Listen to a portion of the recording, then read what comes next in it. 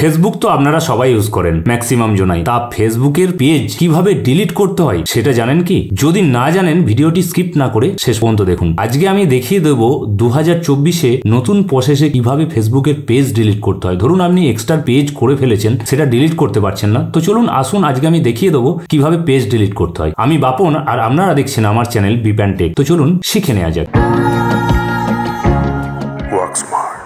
আমি দেখুন আমার ফেসবুকটা ওপেন করে নিয়েছি। এবার আমাকে যেটা করতে হবে, প্রথম, সর্বপ্রথম এই যে অপশনটা আছে মানে আমার যে প্রোফাইল পিকচারটা আছে, এটা আমার প্রোফাইল এবার প্রোফাইল পিকচারে এখানে ক্লিক করবেন। এবার আপনি আপনার এখানে যে পেজ বলে অপশন আছে জাস্ট পেজ অপশনে ক্লিক করবেন। পেজ অপশনে ক্লিক করলে আপনার যা যা পেজ আছে এখানে দেখিয়ে দেবে। জাস্ট কোনটা ডিলিট করতে চান, সেই পেজটাই ওপেন করে নেবেন। চলুন আমি এই টেকনিক্যাল বাপন যে পেজটা আছে, এই পেজটাকে আমি ডিলিট করব। চলুন এটা ওপেন করে নিলাম। ওপেন করে নেওয়ার পর এখানে এই যে সুইচ অপশন দিচ্ছে জাস্ট এটাকে সুইচ করে নেবেন। সুইচ করে নিলে এই পেজটা ওপেন হয়ে যাবে। এবার আপনাকে যেটা করতে হবে, এই পেজের যে লোগোটা আছে, এখানে জাস্ট ক্লিক করবেন বা পিকচার থাকলে পিকচারে ক্লিক করবেন। ক্লিক করার পর এখানে দেখুন একটা সেটিংস চিহ্ন দিচ্ছে জাস্ট সেটিংসে ক্লিক করবেন। সেটিংসে ক্লিক করার পর এখানে দেখুন পেজ সেটিং বলে একটা অপশন পাবেন। পেজ সেটিং এ ক্লিক করবেন। ক্লিক করে একটু নিচের দিকে চলে যাবেন। আমাকে একটু ফলো করুন, একটু নিচের দিকে চলে যাবেন। নিচের দিকে গিয়ে এখানে একটা অপশন পাবেন, দেখবেন ফেসবুক পেজ ইনফরমেশন জাস্ট ওখানে গিয়ে access and control access and control এই অপশনে ক্লিক করবেন। ক্লিক করার পর এখানে দেখুন লেখা দেখাচ্ছে ডিঅ্যাক্টিভেশন অ্যান্ড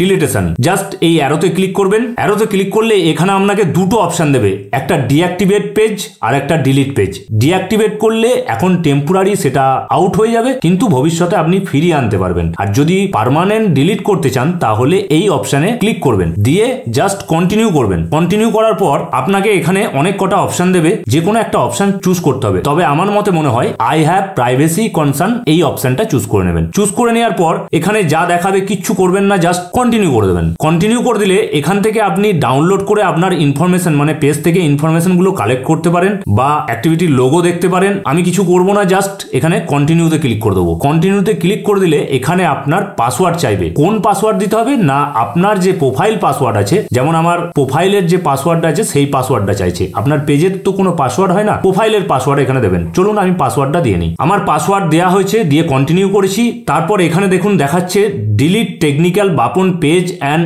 information এটাকে কন্টিনিউ করে দেবেন। জাস্ট কন্টিনিউ করে দিলে এখানে ডিলিট পেজ অপশানে একবার ক্লিক করবেন।